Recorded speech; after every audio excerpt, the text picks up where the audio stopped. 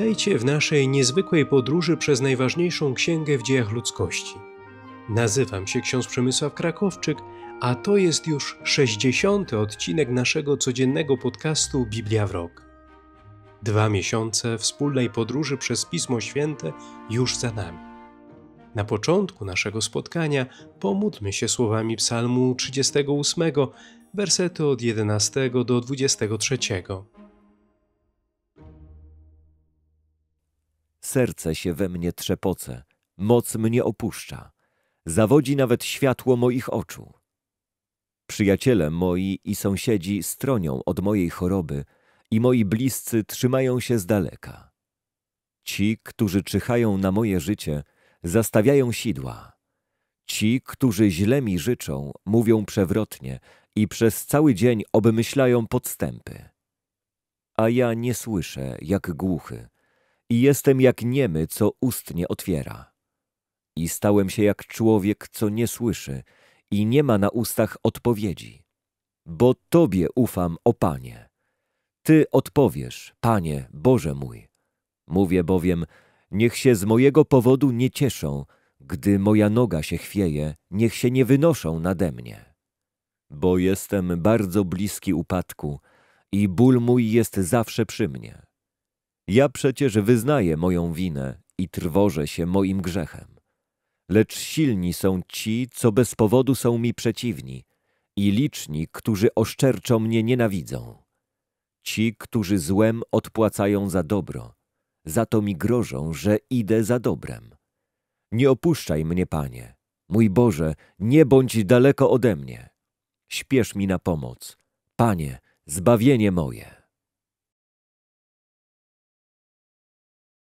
Za chwilę przeczytamy trzy kolejne rozdziały od czwartego do szóstego Księgi Powtórzonego Prawa.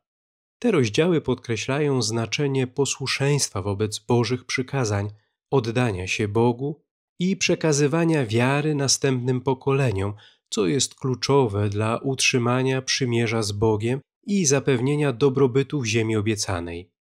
Rozdział szósty zawiera centralne wyznanie wiary Izraela, Szemma, czyli słuchaj Izraelu, Pan jest naszym Bogiem, Pan jest jedyny. I nakazuje Izraelitom kochać Boga całym sercem, duszą i ze wszystkich sił. A teraz, Izraelu, słuchaj praw i nakazów, które uczę was wypełniać, abyście żyli i doszli do posiadania ziemi, którą wam daje Pan, Bóg waszych ojców. Nic nie dodacie do tego, co ja wam nakazuję, i nic z tego nie odejmiecie, zachowując nakazy Pana, Boga waszego, które na was nakładam. Widzieliście na własne oczy, co uczynił Pan w Baal Peor, jak każdego człowieka, który poszedł za Baalem z Peor, wytracił Pan spośród was. A wy, coście przylgnęli do Pana, Boga waszego, dzisiaj wszyscy żyjecie. Patrzcie, Nauczałem was praw i nakazów, jak mi rozkazał czynić Pan, Bóg mój, abyście je wypełniali w kraju, do którego idziecie, by objąć go w posiadanie. Strzeżcie ich i wypełniajcie je, bo one są waszą mądrością i umiejętnością w oczach narodów, które usłyszawszy o tych prawach powiedzą. Z pewnością ten wielki naród to lud mądry i rozumny. Bo któryż wielki naród ma bogów tak bliskich jak Pan, Bóg nasz, ilekroć go wzywamy? Któryż wielki naród ma prawa i nakazy tak sprawiedliwe, jak całe to prawo, które ja wam dziś daję? Tylko się strzeż bardzo i pilnuj siebie, byś nie zapomniał o tych rzeczach, które widziały Twe oczy, by z Twego serca nie uszły po wszystkie dni Twego życia, ale ucz ich swych synów i wnuków w dniu, w którym stanąłeś przed obliczem Pana, Boga swego na chorebie, rzekł Pan do mnie. Zgromadź mi naród, niech usłyszą me słowa, aby się nauczyli mnie bać przez wszystkie dni życia na ziemi i nauczyli tego swoich synów. Wtedy przybliżyliście się i stanęliście pod górą, a góra płonęła ogniem aż do nieba, okryta mrokiem, ciemnością i chmurą. I przemówił do was Pan, Bóg wasz, spośród ognia. Dźwięk słów słyszeliście, ale poza głosem nie dostrzegliście postaci. Oznajmił wam swe przymierze, gdy rozkazał wam wypełniać dziesięć przykazań i napisał je na dwóch tablicach kamiennych. W tym czasie rozkazał mi Pan uczyć was praw i nakazów, byście je wypełniali w kraju, do którego wchodzicie, by objąć go w posiadanie. Baczcie pilnie, skoro nie widzieliście żadnej postaci w dniu, w którym mówił do was Pan spośród ognia na chorebie, abyście nie postąpili niegodziwie i nie uczynili sobie rzeźby przedstawiającej podobiznę mężczyzny lub kobiety, podobiznę jakiegokolwiek zwierzęcia, które jest na ziemi, podobiznę jakiegokolwiek ptaka latającego pod niebem, podobiznę czegokolwiek, co pełza po ziemi, podobiznę ryby, która jest w wodach pod ziemią. Gdy podniesiesz oczy ku niebu i ujrzysz słońce, księżyc i gwiazdy i wszystkie zastępy niebios, obyś nie pozwolił się zwieść, nie oddawał im pokłonu i nie służył, bo Pan Bóg Twój przydzielił je wszystkim narodom pod niebem. A was Pan wybrał sobie, wyprowadził was z pieca do topienia żelaza, z Egiptu, abyście się stali Jego ludem, Jego własnością, jak dziś jesteście.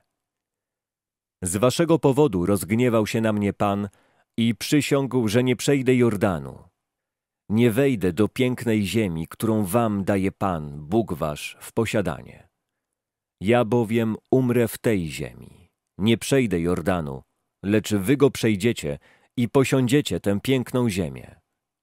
Strzeżcie się, byście nie zapomnieli przymierza Pana, Boga waszego, które zawarł z wami i nie uczynili sobie wyobrażenia w rzeźbie tego wszystkiego, co wam zabronił Pan, Bóg wasz.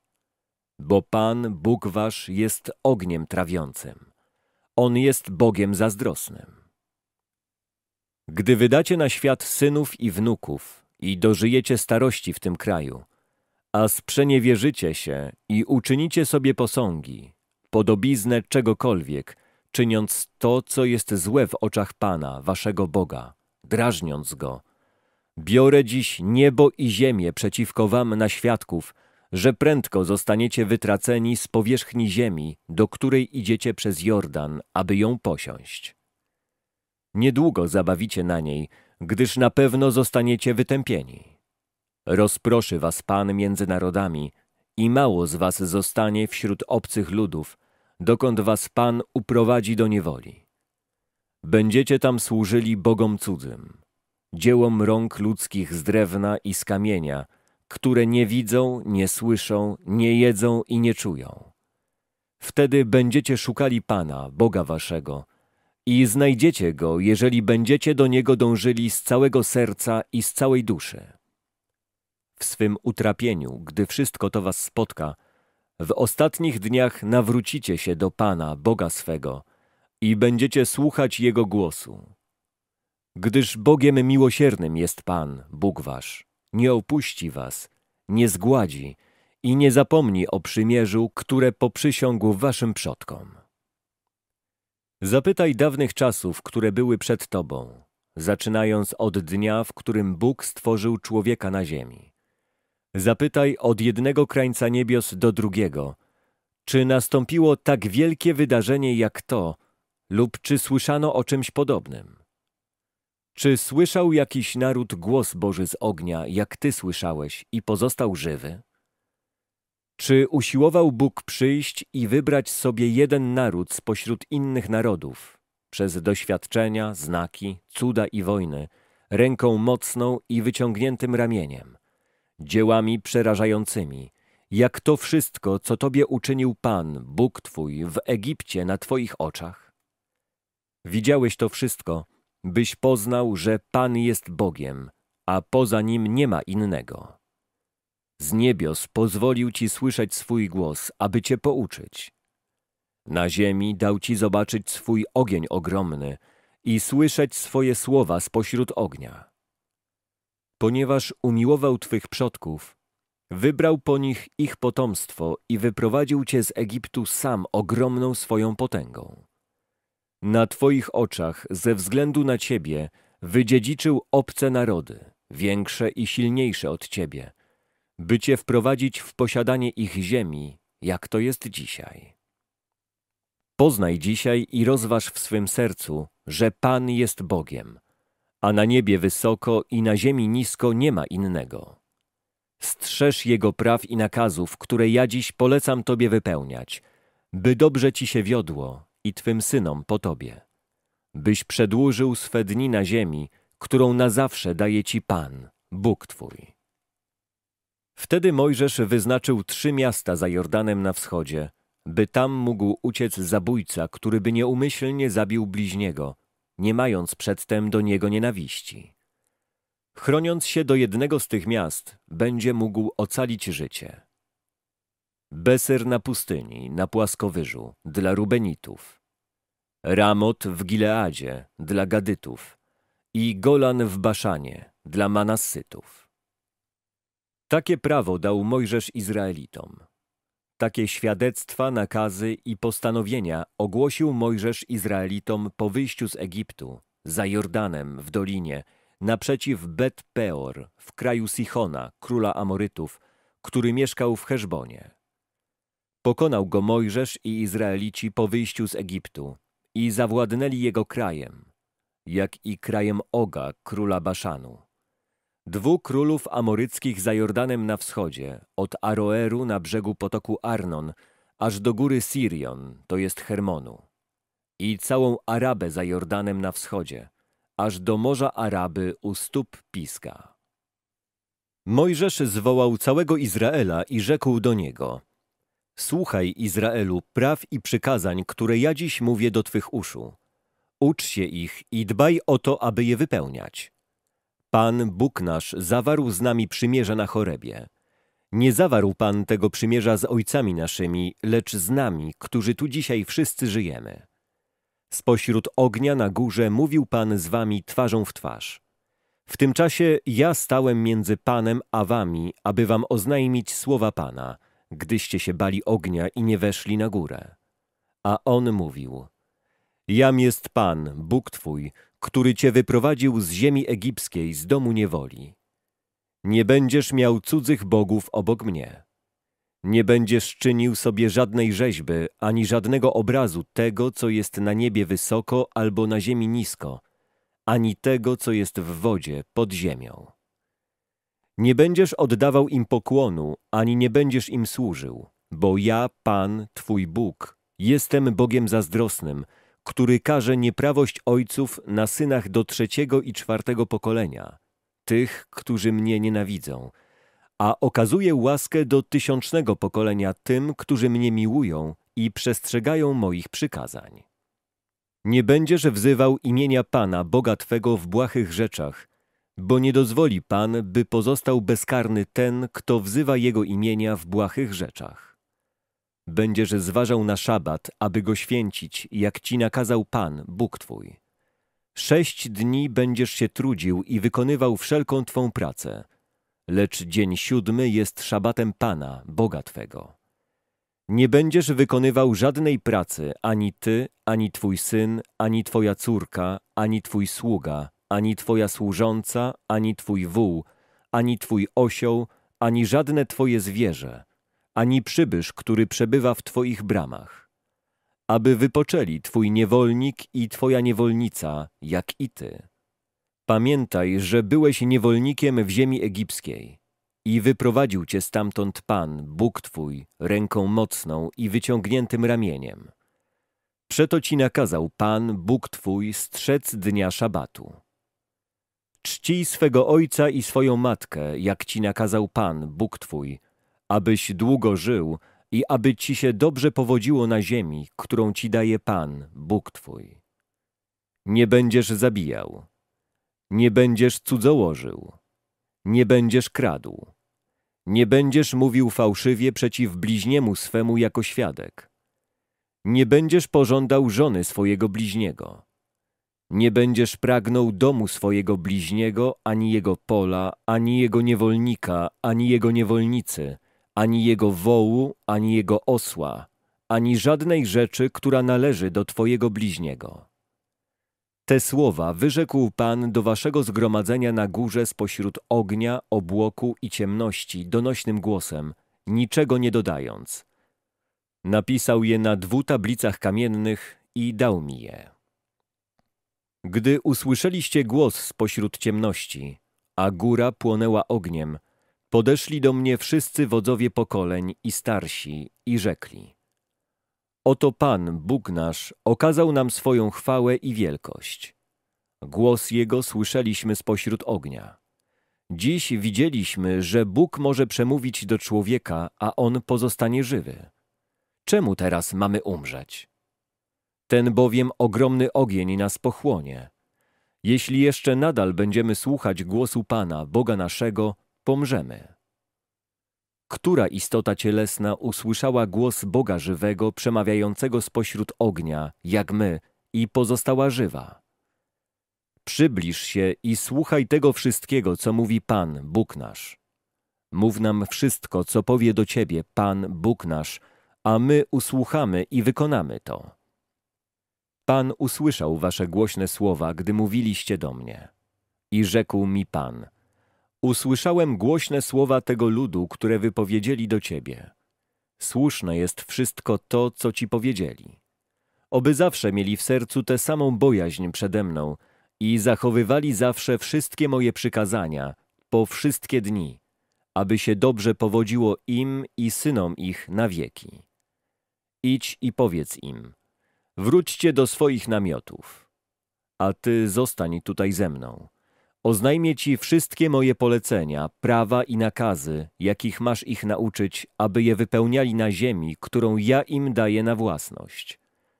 Przeto starajcie się wypełniać wszystko, co wam nakazał Pan, Bóg wasz. Nie odstępujcie od tego ani na prawo, ani na lewo.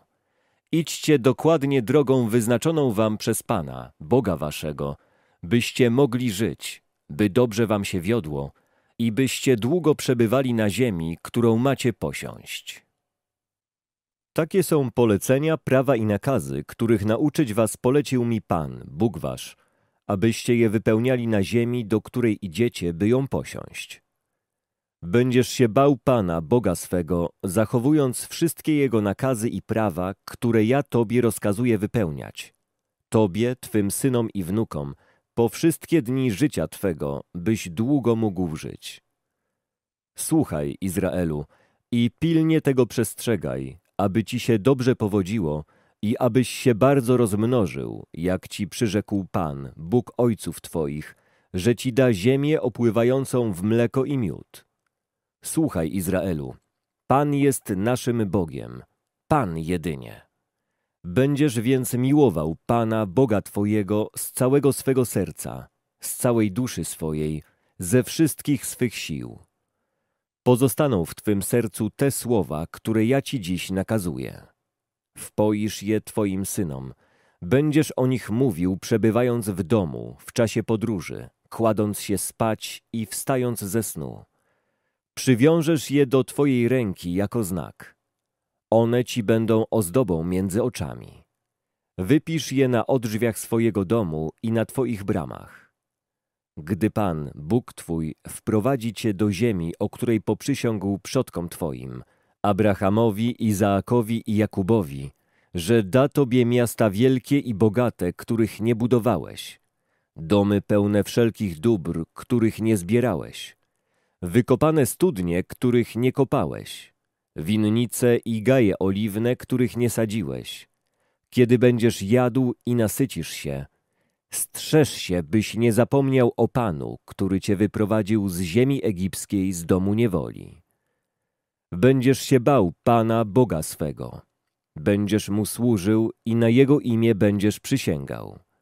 Nie pójdziecie za cudzymi bogami z pomiędzy bogów okolicznych narodów, bo Pan, Bóg Twój, który jest u Ciebie, jest Bogiem zazdrosnym. By się nie rozpalił na Ciebie gniew Pana, Boga Twego, i nie zmiótł Cię z powierzchni ziemi. Nie będziecie wystawiali na próbę Pana, Boga Waszego, jak wystawialiście Go na próbę w Massa. Będziecie pilnie strzec poleceń Pana, Boga Waszego, Jego świadectwa i praw, które Wam zlecił.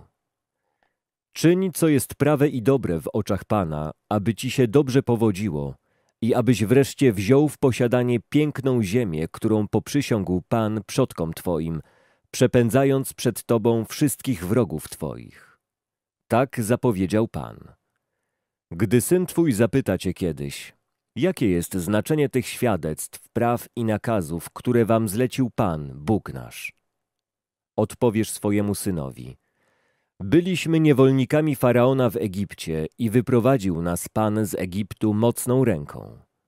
Uczynił na oczach naszych znaki i cuda wielkie przeciwko Egiptowi, faraonowi i całemu jego domowi.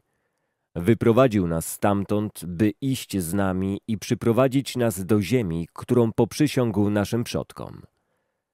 Wtedy rozkazał nam Pan wykonywać wszystkie te prawa, bać się Pana, Boga naszego, aby zawsze dobrze nam się wiodło i aby nas zachował przy życiu, jak to dziś czyni.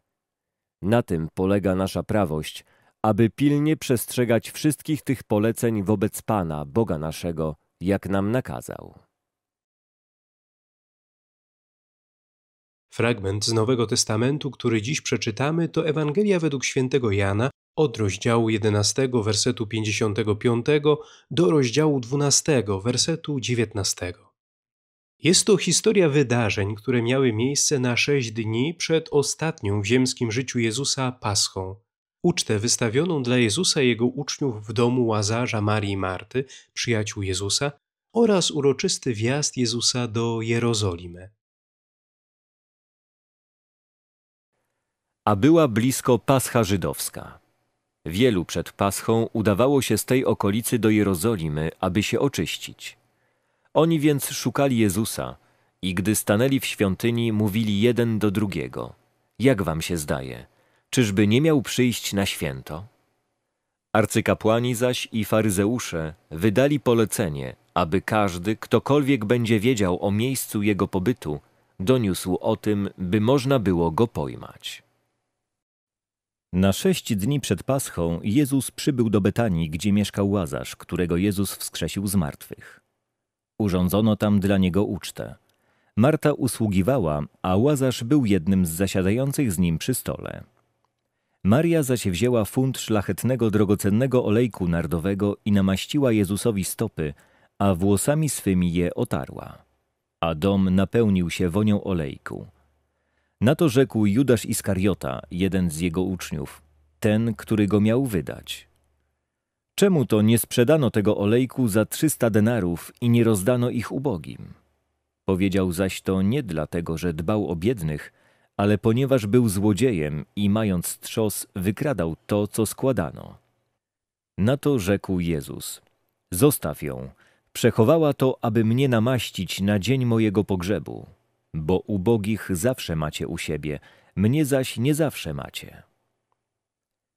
Wielki tłum Żydów dowiedział się, że tam jest, a przybyli nie tylko ze względu na Jezusa, ale także by ujrzeć Łazarza, którego wskrzesił z martwych. Arcykapłani zatem postanowili zabić również Łazarza, gdyż wielu z jego powodu odłączyło się od Żydów i uwierzyło w Jezusa. Nazajutrz wielki tłum, który przybył na święto, usłyszawszy, że Jezus przybywa do Jerozolimy, wziął gałązki palmowe i wybiegł mu naprzeciw. Wołano – Hosanna, błogosławiony, który przychodzi w imię Pańskie oraz Król Izraela. A gdy Jezus znalazł osiołka, dosiadł go, jak jest napisane. Nie bój się, córo Syjonu, oto król twój przybywa, siedząc na oślęciu. Z początku jego uczniowie nie zrozumieli tego, ale gdy Jezus został uwielbiony, Wówczas przypomnieli sobie, że to o nim było napisane i że tak mu uczynili. Dawał więc świadectwo ten tłum, który był z nim wtedy, kiedy Łazarza z grobu wywołał i wskrzesił z martwych. Dlatego też tłum wyszedł mu na spotkanie, ponieważ usłyszał, że ten znak uczynił. Faryzeusze zaś mówili jeden do drugiego: Widzicie, że nic nie uzyskacie? Oto świat poszedł za nim. Dziękuję za uwagę i zapraszam na jutrzejszy odcinek podcastu Biblia w rok. Do usłyszenia.